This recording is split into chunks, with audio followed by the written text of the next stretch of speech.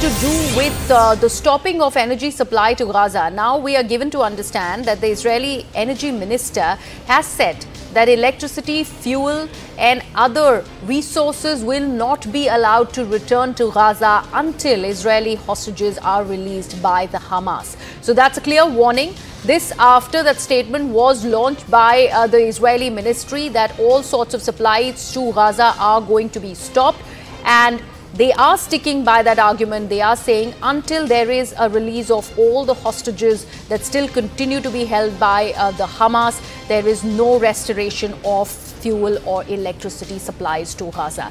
Abhishek, that's a clear warning that uh, Israel is standing by. Okay, we seem to have lost that link with Abhishek. Now, remember two developments that have happened. Uh, the U.S. Secretary of State Antony Blinken is currently in Israel. He's now going to be meeting with uh, his Israeli counterparts, including Prime Minister Benjamin Netanyahu. There is a concerted effort uh, by U.S. Uh, to constantly have Israel's back. In fact, U.S. Secretary of State Antony Blinken has said that in as many words uh, before leaving for his trip to Israel.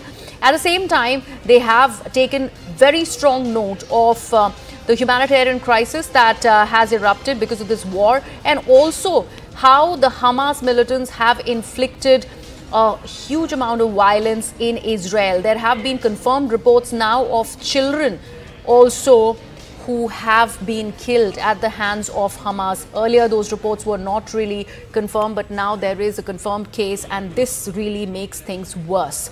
Now, Hamas targets uh, in southern Israel have in fact led to a major missile attack as families in Israel have faced the grief and horror of the deaths and kidnapping of the loved ones.